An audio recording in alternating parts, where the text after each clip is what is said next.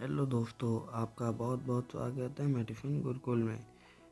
Doctor white coat क्यों पहनते हैं? हालाँकि हॉस्पिटल कोई भी जाना नहीं चाहता है, लेकिन लाइफ में ऐसी प्रॉब्लम भी आ जाती हैं जिससे हॉस्पिटल जाना पड़ता है। हर नौकरी करने वालों की अपनी अलग पहचान होती है, जैसे वकील ब्लैक कोट पहनता है और डॉक्टर वाइट कोट पहनता है। तो कभी आपने सोचा है, आखिर ये वाइट कोट क्यों पहनते हैं? तो आइए जानते हैं, डॉक्टर का वाइट कोट शांति और ऑनेस्टी का प्रतीक होता है। आप जानते हैं, हॉस्पिटल में साफ़ सफ़ाई पर बहुत ध्यान दिया जाता है। तो ये वाइट कलर होने के कारण यह आसानी से पता चल जाता है कि ये साफ़ है या नहीं।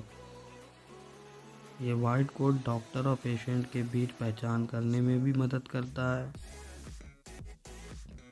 इसके साथ साथ वाइट कलर बॉडी के टेम्परेचर को मेंटेन रखने में भी मदद करता है।